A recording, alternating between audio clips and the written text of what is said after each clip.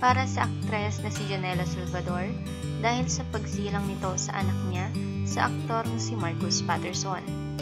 I'm happy kasi we're really good friends.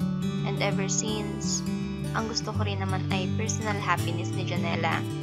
Kung nahanap niya yun with Marcos and with the baby, then I'm happy.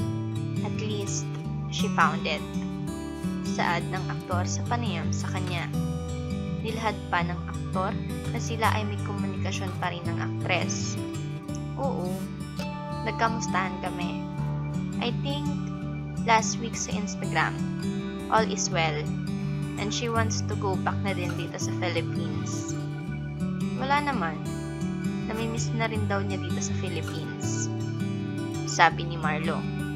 Hiningi rin ang pahayag ni Marlo ukol sa mga opinyon ng netizens nang malaman na buntis si Janela. Well, katulad nga ng sinabi ko, we can't fully understand the person unless you know the background. So, hindi naman ibig sabihin na shy siya, ganyan. You can tell her what to do with her life.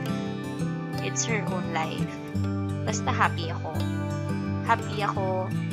Happy to see them happy. Lahad ni Marlo.